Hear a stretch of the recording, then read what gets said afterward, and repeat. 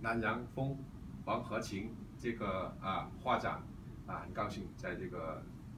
呃举办之前前夕啊认识你啊，跟你做个采访，谢谢啊啊，会长啊，您能不能呃介绍一下你的作品的风格有什么特点啊？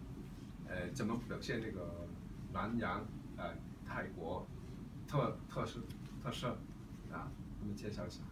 好的，谢谢。第一，首先我要感谢我们新加坡这一次邀请来参加南洋情王和琴，呃，南洋风王和琴这个画展。我本人也非常荣幸能代表泰国作为特邀嘉宾来，也代表泰国文化的联合会，呃，来参展，所以我感到非常的荣幸，也非常感谢新加坡给我这个机会。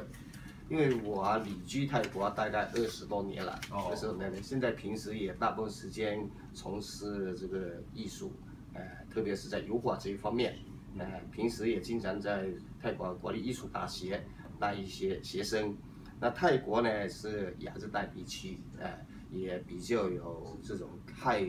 呃，这种南洋风情的的特点，呃。所以平时呢，我这一次呢参展作品有两幅，一幅呢就是唐影，呃，就是用油画来表现，我觉得比较好表现，就是一条小的木桥，还有呢，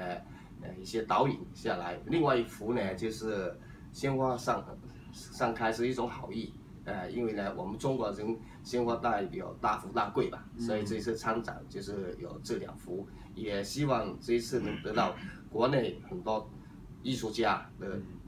指点，还有对我自己的提高，谢谢。啊，呃，泰国的华华人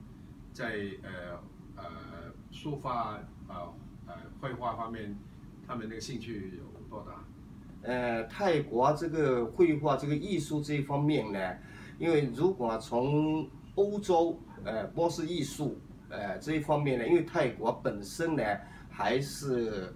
画呢，我接触很多教授，包括在艺术大学上课，大部分还是丙烯画比较多。嗯，因为丙烯画呢，它就在油画和水彩这中间，哎，所以画油画还是少一点，大部分还是丙烯画。呃，但平时我们的学生有时候呢，还是画一些丙烯画，也带有画一些油画，这可能也没办法代表一个，因为毕竟油画是西欧的，呃，嗯。所以也没办法代表什么泰国的风格，大概艺术是共通的。嗯。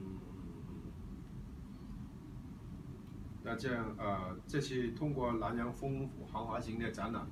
呃，您觉得往后会产生一个怎么一个效应？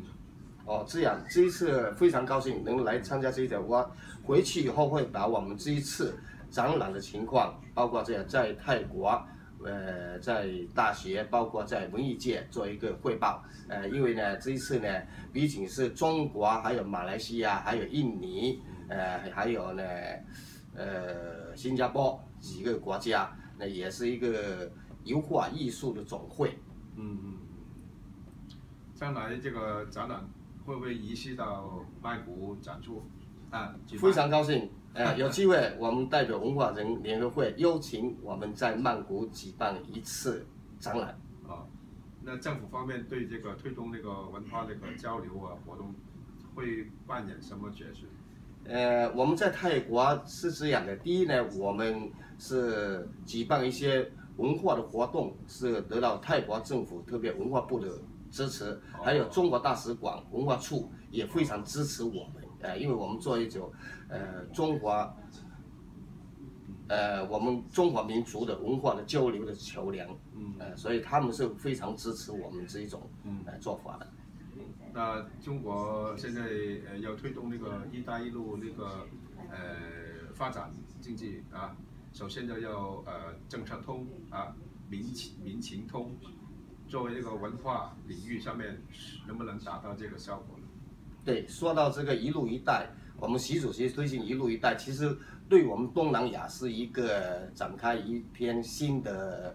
呃生机。哎，所以呢，在文化这一方面呢，我觉得一个国家的强大，第一文化性强大。哎，所以呢，呃，这一次呢，在新加坡展览呢，